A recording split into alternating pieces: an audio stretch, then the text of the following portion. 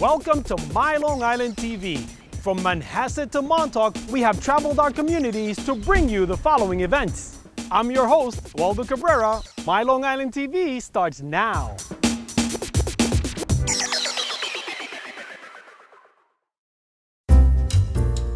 We are on the second floor of the museum and we are in our contemporary gallery.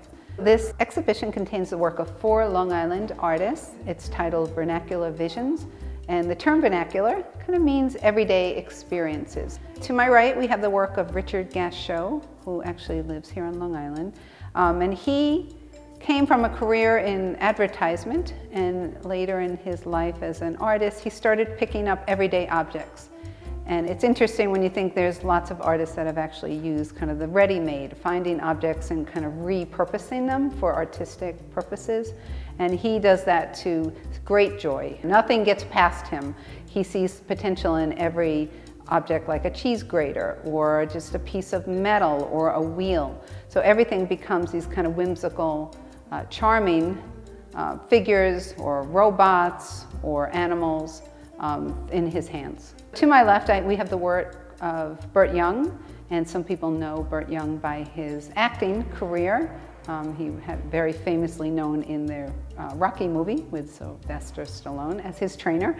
But he's been painting for many years and um, he actually lives again on Long Island. His paintings capture his everyday experiences. They're very kind of expressive, very kind of simple in form and color, uh, very textured, and they're very kind of whimsical, similar to Richard Gashow in a sense, but they contain images of dogs and people that he knows, and just kind of whatever comes to him in his daily life, he captures on a canvas for us to enjoy. On the wall behind me, we have the work of Francisco Villagrán. He, again, is a Long Island artist, and he's actually born in Mexico, but resides here. And he uses a very unusual um, mode of art making. He's actually using ties, uh, ties that people actually wear, and he collages and decoupages different image imagery. Um, he actually refers to himself as a Latin pop artist. So it's kind of exciting for us uh, thinking about the pop artworks that we have down on the first floor in our Out of the Vault exhibition. So that kind of sensibility of uh, what's in your world every day kind of comes into his work. He has images of Hispanic actors and artists, um, as well as other people that inspire his work, like Andy Warhol, um, Leo Castelli, the gallery owner. And they're very interesting in the grouping because you start to look at them and you need to get close to them to really kind of note, uh, to observe all the fine details and also to try to figure out who are the people that are living on these ties.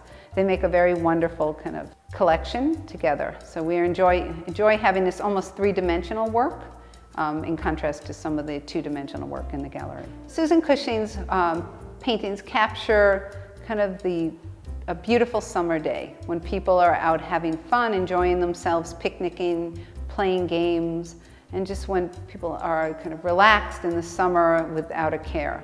They're just very lovely. She's really about kind of capturing this joy of life in her paintings. Contemporary Gallery is always a wonderful kind of adventurous place for our visitors to come. They'll come to see our permanent, um, they'll come to see a kind of larger main exhibitions, but most of our visitors make a, uh, a journey up to the second floor to make sure that they can jump into the Contemporary Gallery because it's always something very new and unusual.